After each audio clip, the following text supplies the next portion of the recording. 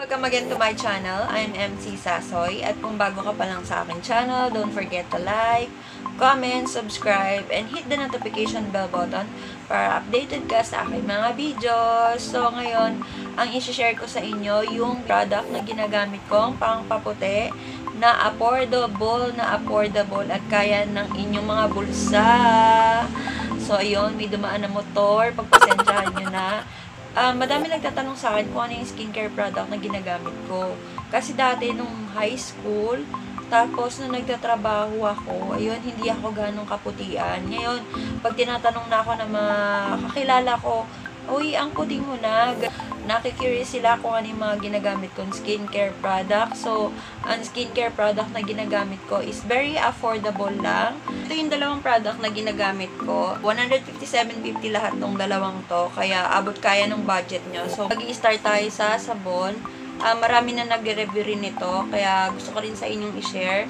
Madali itong mahanap sa drugstore, sa supermarket.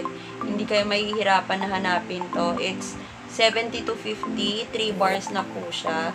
So, ako, ang ginagawa ko po dito, um, yung 1 bar po, hinahati ko siya para mas makakatipid ako lalo. Medyo pangit lang sa kanya kasi madali siyang matunaw. Kaya mas okay na ilalagay nyo siya sa gayan na tuyo po kasi kung nilagay nyo siya sa basa, sobrang tunaw na tunaw siya. At ginagamit ko to, 5 minutes ko siyang binababad sa katawan ko. Normal water lang kasi nagtry ako sa warm water sobrang hapdi sa katawan. Kaya, mas okay talaga na, ano lang, normal water lang. Siyempre, ang sunod ko is itong si Avon. Havon. Pero tawag ko dito, Ebony. Pag-isaya man jud baw. So, Avon. Avony. Avon. Yan, Avon. Ang price po nito is 85 pesos. So, nabibili ko lang lagi ito sa Watson. Pero, hindi ko sure kung meron to sa iba. Almost lagi ako nabili sa Watson nito. Um, itong Avon Spa Milk Soap Moisturizing, Whitening, Smooth, and Baby Skin. Kapag smooth po ng ating katawan. Ginagamit ko to after kong magsabon ng Kojisan. Um, ini-scrub ko lang sa aking katawan. Papakita ko sa inyo kung ano yung texture ng ano natin, Avon. Para kasi itong, alam mo yun, parang iodized salt lang. Wait lang. Ayan no, iodized salt lang. I-scrub nyo lang to sa inyong katawan. Ayan, ayan. Ito, ginagamit ko siya 3 times a week. Ayan.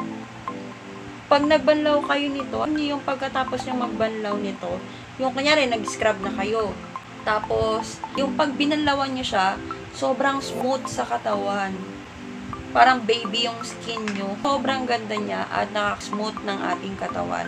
Uh, ito yung ginagamit ko yung dalawang to kasi yung skin whitening soap natin na Koji, nakakatulong siya sa nakaka-lighten siya ng ating skin. Milk soap naman na Evon, um, it, parang ito yung nakakapag-smooth ng katawan natin. Pero, dapat mag-lotion din tayo. Kailangan natin ng may SPF. Mas okay din na may lotion tayo. Nakatulong ako sa pag-share ko sa inyo ng skincare tips na ginagawa ko sa aking buhay para sa ikakaganda ng ating mga buhay dyan. So, thank you for watching my vlog. Kita-kits ulit!